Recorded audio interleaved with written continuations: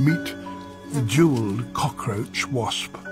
Her iridescent body stands out brightly against the forest floor, though the purpose of her bright coloration is not known. Certainly any bug that does spot her would do well to steer clear. She hunts, but not for herself.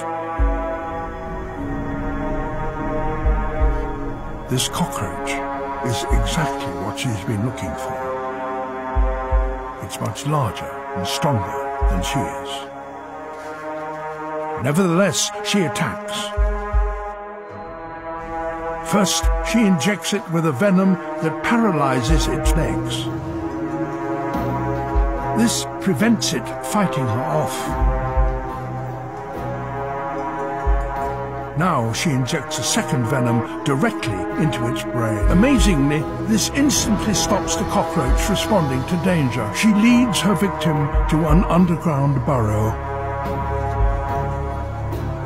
Here she'll lay her egg directly onto the cockroach's body. She conceals the burrow's entrance with leaf litter. This will stop other predators finding the cockroach or her larvae. The larva spends five days sucking the cockroach's body fluids.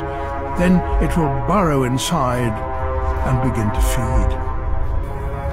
It eats the least essential parts first and saves the nervous system and the breathing system for last.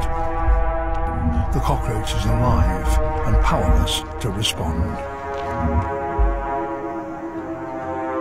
Over a period of weeks, the larva continues to grow and develop, until eventually all that remains of the cockroach is a dead, empty husk. And from it emerges a fully mature adult wasp, ready to repeat the gruesome cycle for itself.